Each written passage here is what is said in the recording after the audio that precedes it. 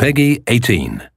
I ever tell you about Trevor? Oh, oh, oh! Major drug dealer. Real hillbilly type shit. Bring me my coffee, I'm gonna cut your arm off. But it's the same old tune, fiddle and guitar. Back in town, oh. baby, yeah! Please just go and ruin somebody else's home furnishing. Rhinestone Suzanne. New in town, I'm making friends, all right? It's been the same A lot of friends. I mean, things could get really messy.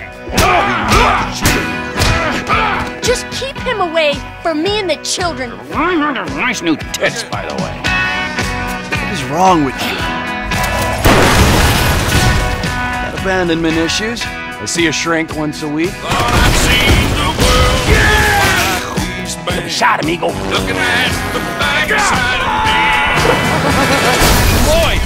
massage. Uh, no, no, I really don't. don't. you want me to get my dick out again? But I don't think Hank done 'em this way.